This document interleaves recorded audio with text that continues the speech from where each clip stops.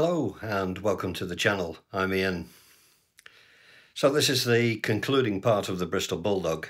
Um, it's been an interesting build, one way or another, um, and certainly not without issues. Um, I was getting on really well with the rigging, uh, and then this happened.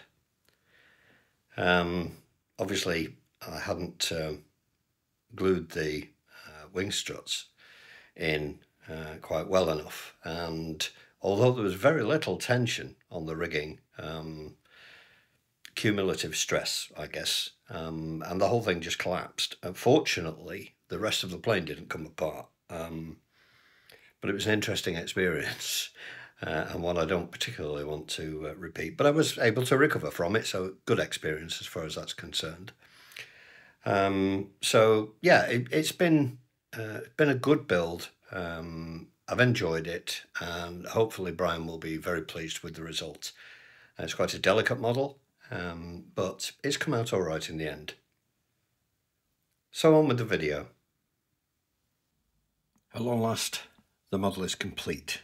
Um, a few trials and tribulations through this one, uh, but here it is. Um, as you can see, managed to get the uh, the rigging on and uh, at the ends there as well. Uh, first time I've done rigging and uh, it came out reasonably well I think. Um, I also managed to lose uh, one of these. Um, the carpet monster ate it and the, I just couldn't find it and I, I made a new one um, out of stretch sprue and then I lost that. Um, so I made another one out of stretch and I managed to get this one. So uh, it's, it's now got the two on and they look okay.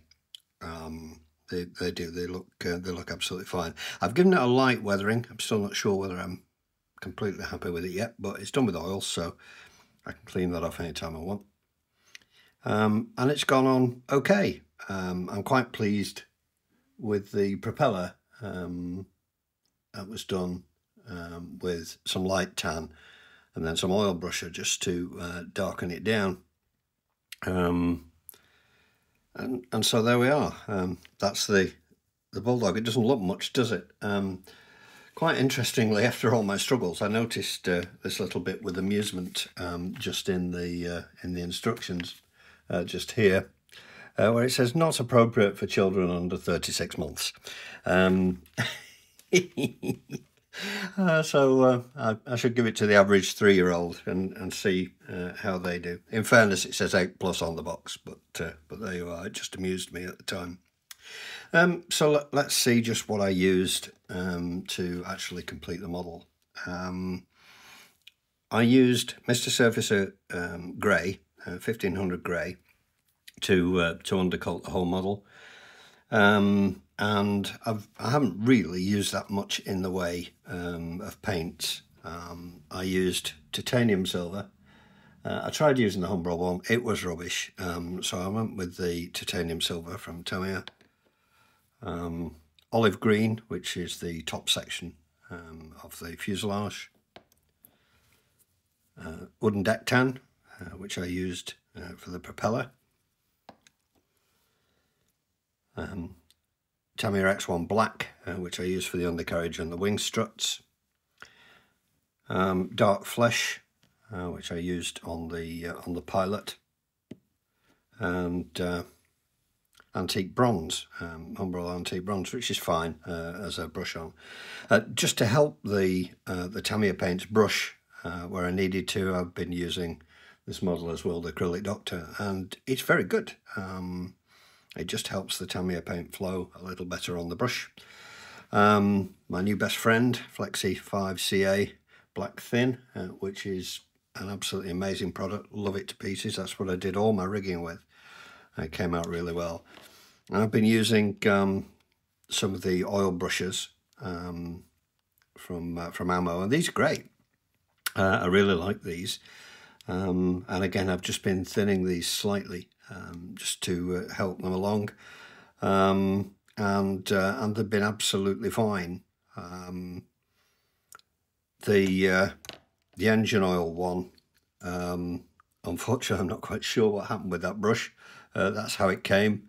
Uh, the brush is absolutely solid, so not sure what's going on there, but I was able just to pour a little bit into uh, the palette and work it that way. Um, for the rigging, I used um, the Infini uh, medium rigging at 0.135. Now, this is supposed to be for 132nd scale, um, but actually um, it works perfectly well uh, there. I think you, will I think you'll see. I think that's pretty much to scale. Um, it looks pretty okay. Uh, it could have even done with being slightly thicker, I think, but um, that's fine. It's uh, it's gone on okay. Um, so there we are. That's the uh, Bristol Bulldog complete, um, and we'll move on now to uh, to the next project. The Bristol Bulldog complete then um, it's not been without its issues, as you've seen, uh, but I'm quite pleased with the finished model, um, model number four. Um, so, you know, I'm not exactly an experienced modeler. Um, I'm not sure I'll be rushing, um, as I said, to uh, do another 172nd scale biplane. Um, but it was a good experience, and I'm going to try and build a few slightly larger things for a, for a while um, and see how we go. Uh, I'd just like to say a massive thank you to all the new subscribers. Uh, thanks for joining, and I hope uh, that you'll enjoy the channel as it moves forward. Uh, please do leave me a comment and give me a thumbs up if you've enjoyed the video. It really helps the channel. If you haven't subscribed already, please do consider doing so. Until the next time, thanks very much for watching. Cheerio.